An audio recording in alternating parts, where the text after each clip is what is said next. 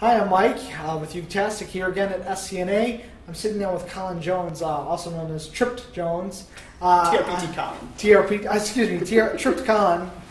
It's one of those days. Um, but uh, actually, uh, kind of a funny story of how, what does Tripped mean again? Um, he's trumpet. Trumpet. Trumpet, It's an abbreviation for trumpet. Yes, so he's a trumpeter.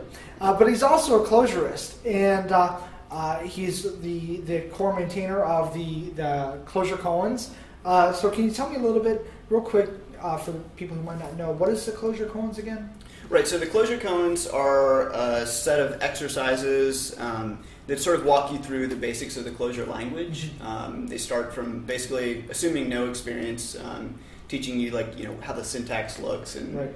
how different functions like equals, function application, you know, starting starting at the very base level and walking you up through knowing a little bit more about the language. You're not going to be a master when you finish, But you're going to at least, you're going to have touched most of the major syntactical structures. And Yep, and like you're going to sort of yeah, and, and the idea is for it to be very very stepwise and um, to teach you the Clojure language. Okay.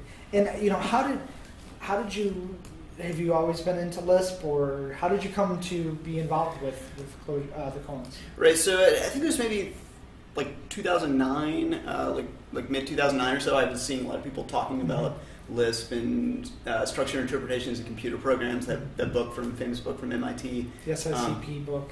Right. Um, people talking on Twitter about how, how great that was and stuff. And I had never done any Lisp. I didn't come from a background in computers. Um, so I, I decided, you know, start learning some Lisp. And um, along the way, I, I heard about Clojure. There was this like Lisp that was actually supposed to be, um, you know, useful in, in real life. Not that other Lisps aren't practical useful, Lisp. but like that, that was like the core. But it's, it's on the JVM, Right. so it has the libraries and all that. Exactly, exactly. And that was just the, you know, the value proposition um, that I was presented with. Um, so yeah, I, I was really interested, and we watched the, the PeepCode that Phil Hagelberg put together, and as a company, and then we went through Stuart Halloway's book, um, Mhm. um, Programming Clojure. I believe it's that one, not Oh, the, the- Clojure the- Programming. the Right, first the one. first one that came out, right? Mhm. Um, so you know, was learning the language in that way, and then uh, Aaron Bedra um, from Relevance, um, formerly from Relevance, uh, now Groupon, um, put out a call on Twitter that, that he was starting this project called the Functional Koans, and he wanted Mhm. people to add things for Scala and F Sharp and Clojure and stuff Mhm. like that. I was like, huh, that might be an interesting way for me to contribute because I've I've always been like interested in getting into open source Right. software and um, contributing, but at that point my Clojure knowledge was pretty small, Right. and so I figured I'd you know see what they had going on and maybe I could sort of learn the language better by writing some of these small exercises. Right. So that was basically Yeah, one of the big of ways I learned the Trying to apply straight away in some big library. It's it's actually let's learn while we create. Yeah, exactly, exactly. And I, I think that was still during my apprenticeship at Eighth Light, so I Mhm. was sort of like um, very much in the mindset, and I still am, but to some extent, but um, very much in the mindset of okay, I'm, I'm just going to learn, like just learn things Mhm. um, about about this new language. Um, so yeah, that, that was kind of the approach I took was just to, to learn about the language um, by by writing elements of the Right. Clojure Koans.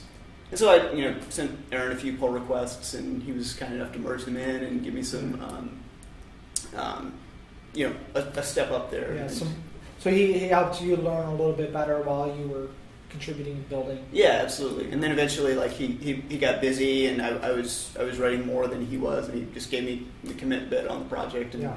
things went from there. Yeah, so yeah, the the site was relaunched and it's it's heavily. Uh, I mean, even the sites the the Clojure Koans site is written in Judo and Yeah, yeah, it's actually written in Clojure. We actually had um, this clojurekoans.com is, is the place you can go to, to, to learn more about this, and also the GitHub page. But um, clojurekoans.com will link you to the GitHub page.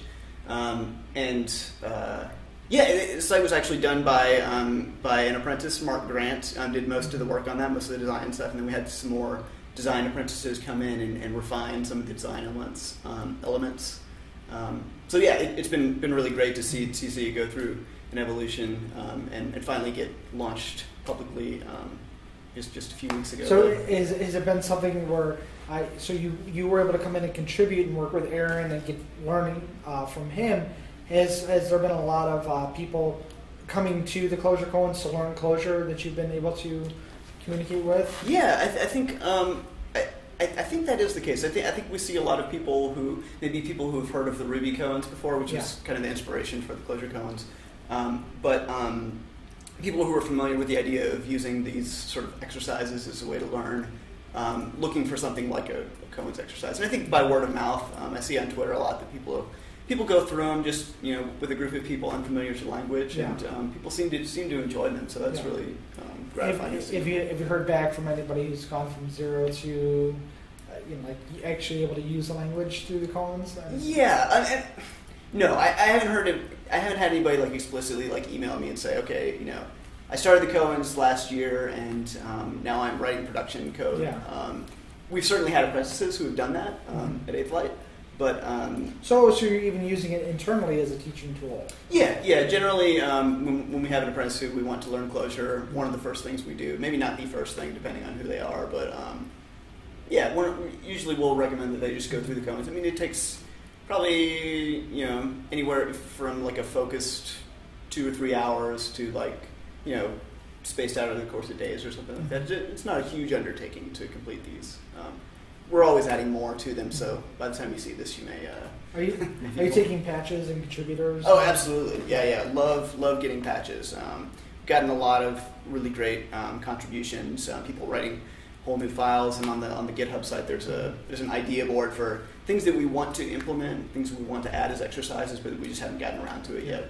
And uh, Aaron alluded to the fact that it's now more of a koans engine now than like what what what, does that mean? That's right. So Sam Ritchie from Twitter had um, he he works on the Cascalog project. Cascalog is like a, a sort of um, Clojure interface to cascading, which um, Clojure interface and sort of logic engine around cascading, which is a Hadoop thing. Um, but it's this really awesome um, thing that they that they're working on.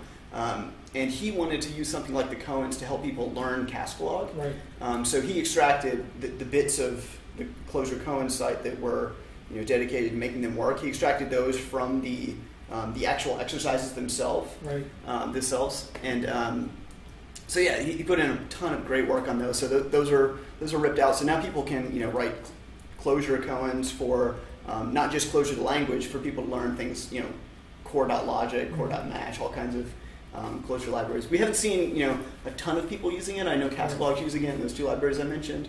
Um, but yeah, we'd lo- love to see But more. to see somebody like see what you worked on, so you handed it, you know, kind of took it over from Aaron, worked on it, and then somebody else saw it and said, "Hey, I can make it better," and I contributed it, contributed to the project, and now it's just better. Yeah, yeah, absolutely. It's one of the great things about GitHub and open source software in general, um, Mhm. to seeing that kind of thing. And just something that's more context based. Earlier, uh, Corey Ford was talking about the progression of using some of these tools, the concepts of a kata.